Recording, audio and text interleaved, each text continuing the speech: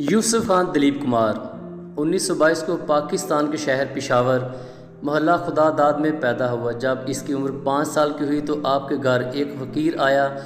दादी ने फ़कीर को कुछ पैसे दिए। उस फ़कीर ने जब पाँच साल बच्चे दिलीप कुमार को देखा तो उसने कहा, ये बच्चा कोई आम बच्चा नहीं है। ये बच्चा अजीम शहरत और बेनज़ीर कामयाबियाँ समेटेगा।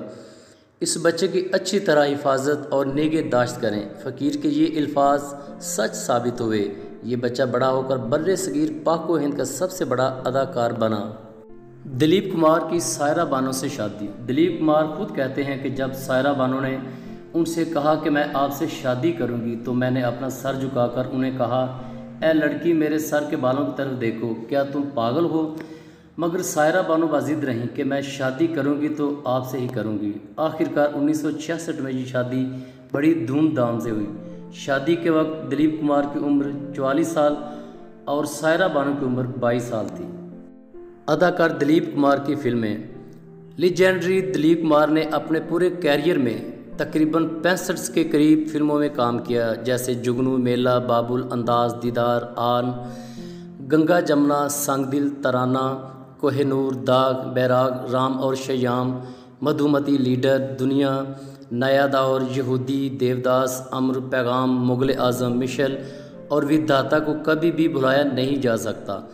तारीख गवाह है कि लोग फ़िल्म आन देखने के लिए सुबह ही सिनेमा घरों की लाइनों में लग जाते थे।